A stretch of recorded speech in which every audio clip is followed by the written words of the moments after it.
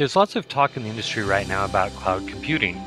What is it? How does it work? What do we use it for? What are the different types of clouds? These are all things we need to understand if we're going to work with cloud computing. So let's start with the question what is cloud computing? And let's try to give a quick definition. It's going to be this.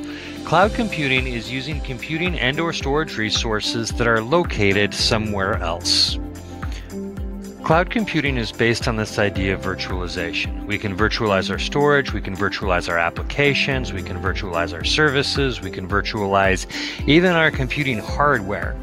And by virtualizing all of that information or all of those resources, we place them at a different location, and that's what we refer to as working in the cloud. When we're talking about clouds, we'll talk about three different types of clouds we'll have a public cloud, a private cloud, and a hybrid cloud. So let's start with the public cloud. A couple of key things about the public cloud. Number one, services are available over the internet. Number two, they're available to anybody who wants to connect to those services. They can be either free or paid.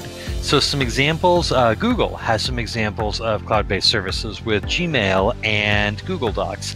Amazon has some web services through AWS that can provide platform or infrastructure as a service. Uh, Microsoft has some public cloud services through Microsoft Azure. So, those give you an idea of some of the things that are available to, um, are available for the public cloud. Remember the key things, they're available uh, over the internet and they're available to anybody who wants access to them. So now let's talk about private clouds. Private clouds use similar technology to public clouds. So we use virtualization, we use clustering, uh, we use a lot of the same types of technology. But the big difference is a private cloud is for the use of a single organization. Not everybody has access to it. So the positive side of that is they are a little bit more secure because the organization maintains physical access of its data. The downside of private clouds is that the organization now has to build its own infrastructure. They have to put in their own servers, they have to put in their own SANs, they have to maintain all of the equipment.